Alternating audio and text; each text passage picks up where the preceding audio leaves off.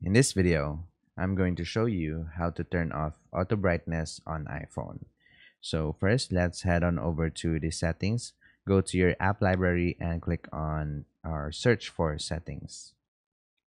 So now once you've searched for settings, scroll down and let's head on over to the accessibility right here. Click on accessibility and um, head on over to display and text size. So once you uh, click on display and text size, scroll down to the bottom and there you will see auto brightness. So turning off auto brightness may affect battery life and long-term display performances. So just click on the slider right here and that's how you turn off auto brightness on iPhone.